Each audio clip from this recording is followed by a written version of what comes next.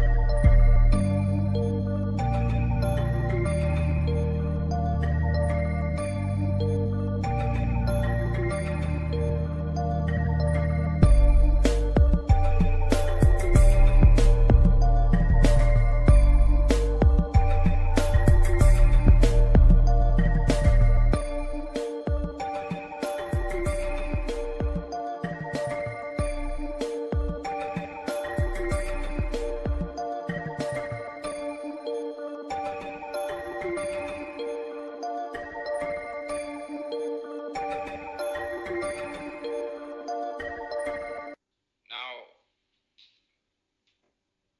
really isn't anything radically wrong with being sick.